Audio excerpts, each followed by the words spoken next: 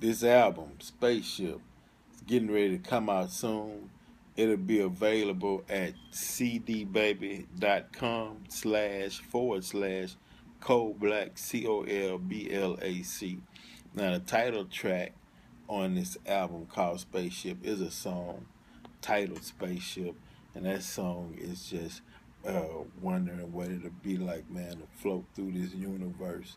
And we dropping uh, information, me and my boy Robus Vader, on on Mars and Imhotep and Luxor, which is in Egypt, and the way the people treated each other, how they looked for the God within, and so the ground would be what they say holy. But you searching for the God within this individual, I searching for the God within the next individual, and then that brings respect, that brings peace.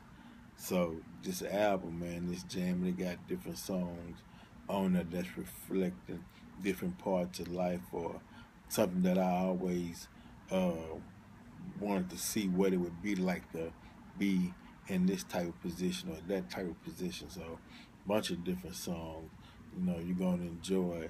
And soon as it hit, I'm gonna let y'all know. Go check it and let y'all know when to go check it out. I'm alright.